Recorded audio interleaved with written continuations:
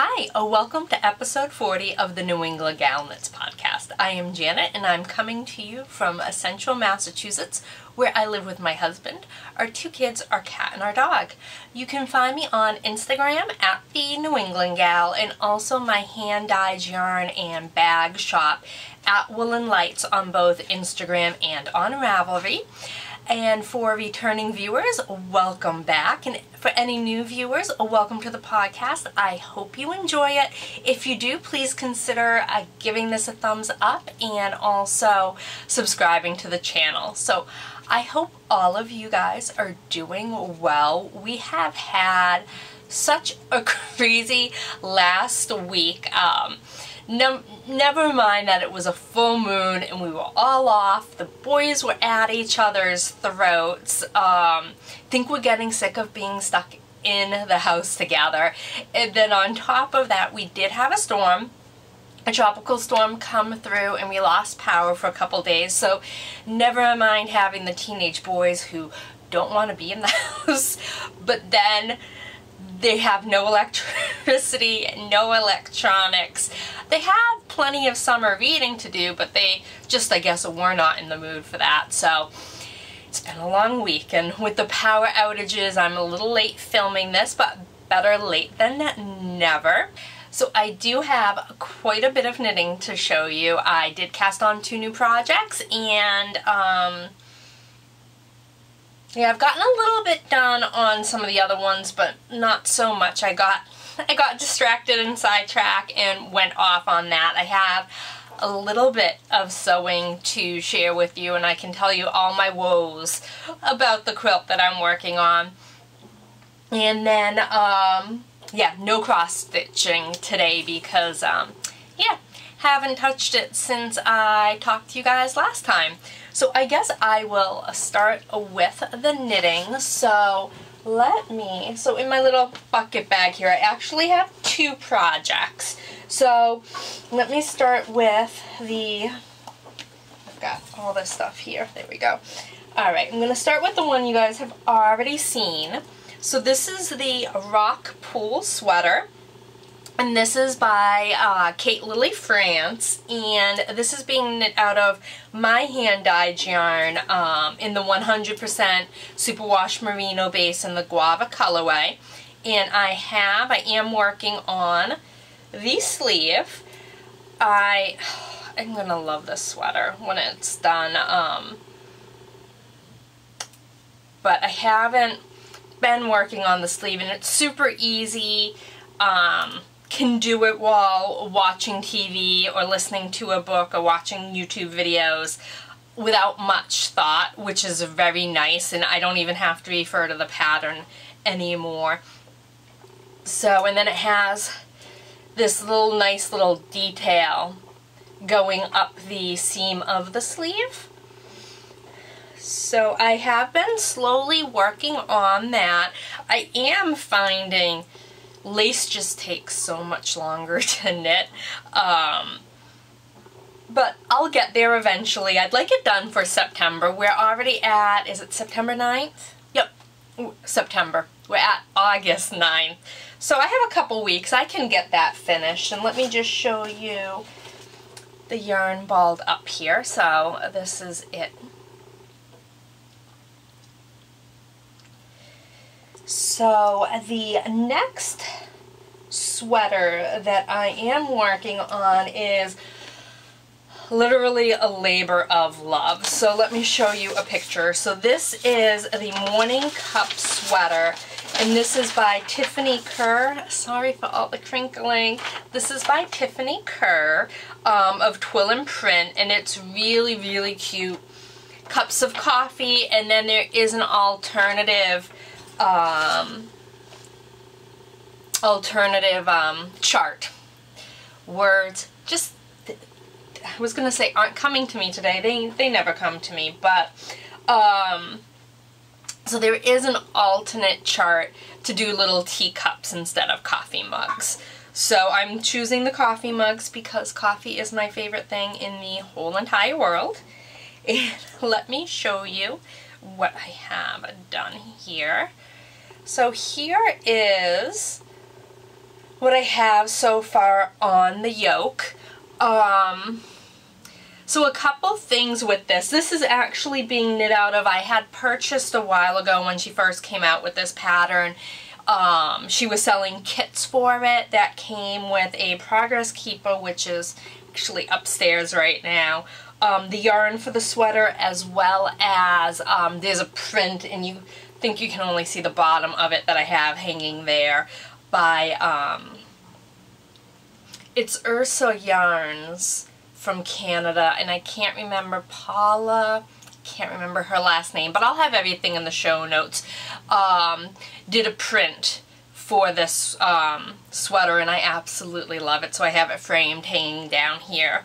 So this is all being knit here are all the colors out of Hello Stella yarn. And this is what I have so far. So this is the main body. This is the little hearts and the teacups. This will be the little spoon hanging out of the mug. And then this is the background color for the yoke. And now I have to say, this is not my first colorwork project. It's not even my first where I could say, oh, superwash merino. It's harder to do color work because it's not, I've done superwash merino yarn color work before, but I am having a lot of puckering. There's a couple rows where it's three colors, which I've never done before. I've only done two colors, and there's a lot of having to catch the floats in the back. So it is, it is getting tedious, but again, I love it, and I know it's some of it's a little bunchy, but I'm hoping that will all block out or close enough. And even, I don't know what's going on. I did, so the, again words, not coming to me, the short rows. Um, it gave directions for the wrap and turns. I did German short rows because I find them easier to do and normally you don't notice them as much but for whatever reason I'm hoping that'll get a little bit better once I block it. I don't know. We'll see. What do you guys think or is there a way to fix that? I don't want to rip back. I'm hoping, I'm just going to keep pulling. I'm hoping once I block it if not, I could probably sew it up a little bit. So, anyways, I spent basically yesterday morning sitting on the couch working on this. And I do love color work, um, but like I said, I think doing, I'm almost on this row, and then I have another three color row, which I'm just, I am not a fan of the yarn gets, although I am getting better with not having the yarn twist and working that out. So that's been a plus. I've kind of figured that out, but it's literally I work on the couch with the sweater and I have the balls of yarn all separated nicely so I can try and make sure I'm not getting all tangled and knotted up and things. So those are the sweaters I'm working on. So next I'm going to jump over to socks. Now I have not worked on my Coffee Talk socks at all. I typically work on those in the morning um, while I drink my coffee and to be honest with you, I've been getting up working, jumping right on the computer and starting work at about quarter of six every morning. We've been so busy, so I haven't had a chance to really knit in the morning. Um, but I did make some progress. Look at this mess. It's on my um, vanilla socks that I am working on. And there's a tale of woe with these as well. It seems like that's been the story, the story lately, but anyways, I, here we go. So I have gotten almost the foot almost done on the first sock. I'm working on the toe decreases now. So, and this is being knit out of Knit Picks Felici in the Toucan colorway. So, have this one almost done. I don't know why I stopped working on the toe, but I did. And I decided to jump over to the second sock. So here is what I have of the second sock. And here is where my tale of woe comes in. So, on my first sock, I had messed up on the counting and I had 32 stitches on the top of the leg and 36 stitches on the bottom half of the leg. Or front, back, I guess, of the legs, top foot of, uh, yeah, top, bottom on the foot. But I started doing the heel on the 32 stitches, not the 36, so it's not going to match what's on this. So at least this should be a fairly easy, oops, keep losing stitches, fairly easy fix because I can just go in and um, pick up the stitches and then um, take off the bottom half of what I have done of the heel. So I'm going to actually probably work on that um, while I edit this video.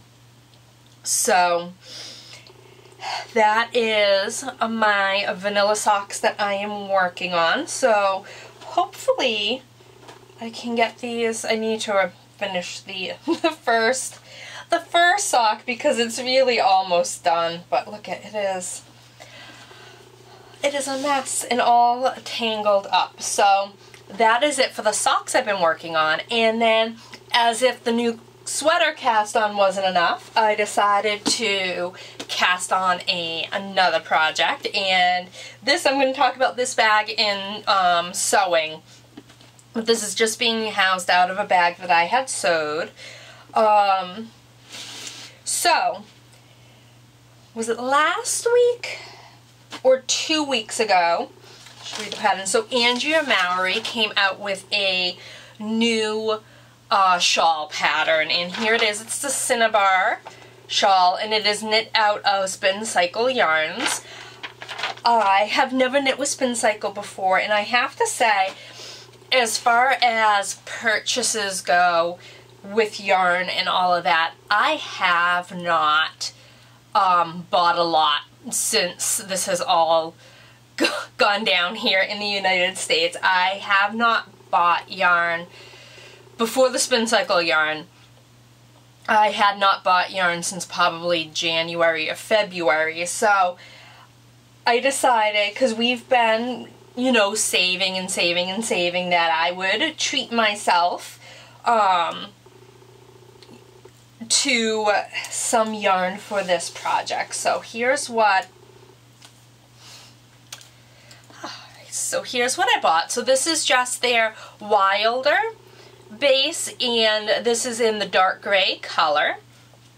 And then I paired it with, they were having kits and the kits were discounted. So this is Summer Love, which honestly is not a color I would graduate to, graduate, gra gravitate words. um, it's not a color I would gravitate towards. However, um, whatever it is about the greens and the yellows of this uh, just um, caught my attention. I thought it was something different um, in that I didn't knit with or have so far. So here is, and I just started this last night, and it is honestly oh, so relaxing, and here is what I have so far. Yeah, you can see this hole right there, but I don't, uh, I think I'm just going to stitch it up once I'm done. I don't know what I did there, but um, I am knitting these on, um, these are Plymouth Yarn bamboo needles. So now I just said I haven't um, bought any yarn or anything really knitting related since February. However, I don't like these. The yarn's really sticking on them. It's, um, and then it's catching on the joint here. So I did end up purchasing a pair of ChiaoGoo um, needles. So I can't wait to get those in and transfer this over. So, and I do, see, I love fades.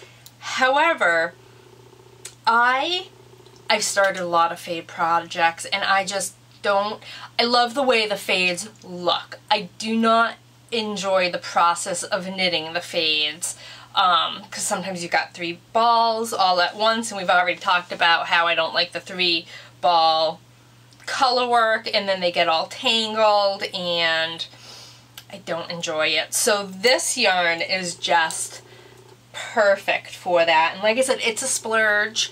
Um, I normally would never spend that much money for yarn for, especially a shawl, a sweater. I might, um, however, I wanted something different. And like I said, we've been saving, we haven't been spending, we've been really good. So I had enough tucked away to be able to splurge on this. So that is it for my works in progress. And I know there were quite a few. Um, at first I kind of felt bad. I just keep casting everything on. I'm not finishing anything. And I was getting kind of hard on myself. But I'm not a monogamous knitter.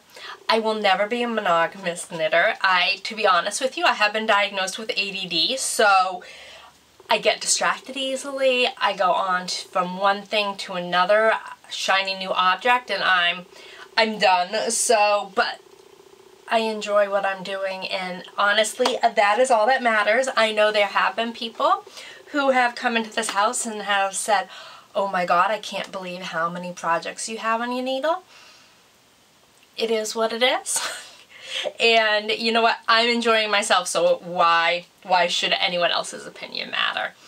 So, I guess on to sewing. So I guess we'll talk about my quilt woes. So last Sunday, I ended up with a, a really bad allergic reaction and having to take some Benadryl and decided after taking the Benadryl that it would be a good time to sew.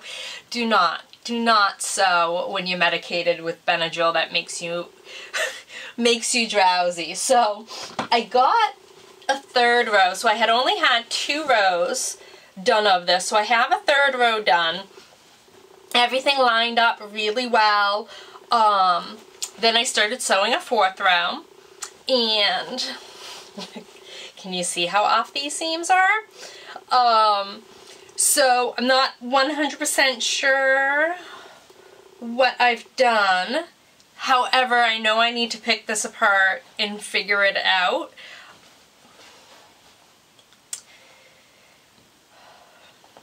Do not, do not sew when medicated. I'm saying it to myself, not to you guys. Um, although it's a, probably a good thing to uh, live by. But anyways, and for those of you who are just kind of tuning in and haven't seen this before, this is the French Quarter Jelly Roll Quilt pattern. And I'm knitting it in a white Kona with a Tula Pink handmade jelly roll. So I have next Friday off, so I'm hoping to unpick it and fix all this. And yeah, that's my tale of woe on my quilt. So we'll get there eventually. Um, Oops. Trying to put it back as neat as possible. Um, then my other sewing project, and I wanted, I don't know if any of you guys, so I'm, so I sewed this project bag, and I, I wanted to kind of design it on my own, and a couple things, um, I put the leather handle like this because I thought it would be nice to, you know, be able to hold it here and knit I'm not quite sure I like the leather handle positioning. So we'll see. But I knit this, knit this, I sewed this out of wax canvas. And I don't know, it's the first time I've ever sewed with wax canvas. I don't know if this is typical and that the wax will eventually come off, but I feel like it's very greasy right now. Um, maybe it's the type of wax in the material that I bought.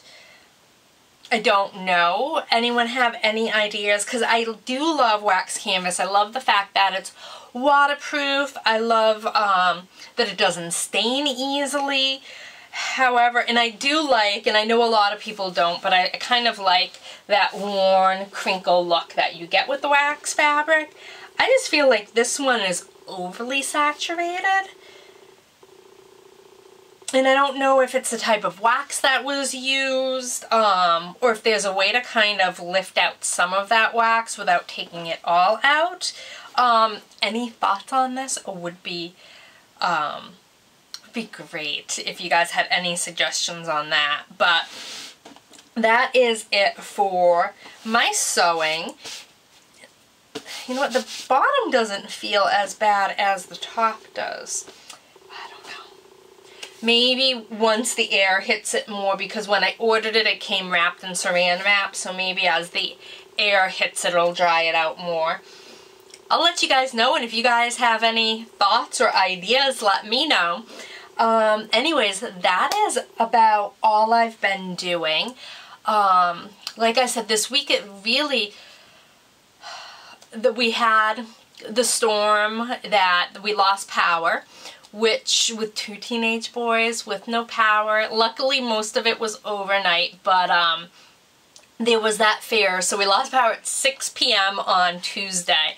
Didn't get it back to um, 10 o'clock on Wednesday morning, and there was that fear of, what if I have the whole day and I have to entertain these boys? They've been bored out of their mind to begin with. Um, just being stuck at home, and then normally they've got Boy Scout camps, and they go to, with friends, we go to the beach normally We've been to the beach already five times um, this year, but it's just one of those years that we haven't. I thought maybe I would take the boys down to Newport because I had Friday off, this coming Friday off.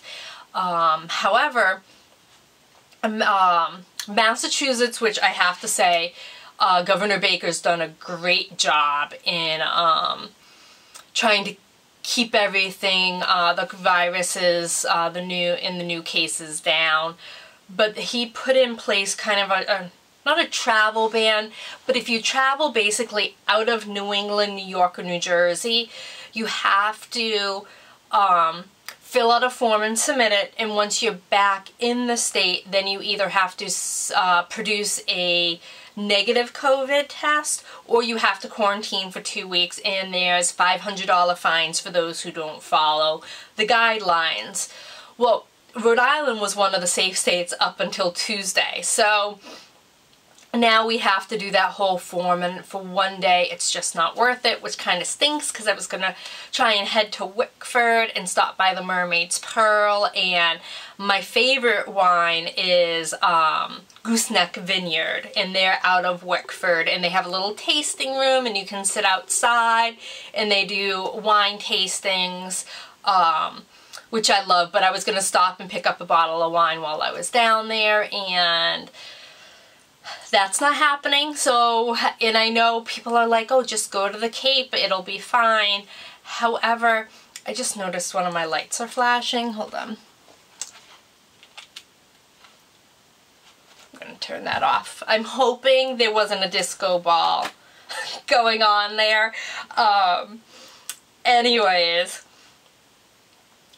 I don't even know. Oh, so people were saying, oh, just go to the Cape but the Cape beaches have been crowded and honestly I'd rather just stay home than take a chance. So I will get a lot of um, knitting and sewing done on Friday. I'm just going to sit back and relax and just kind of enjoy the day.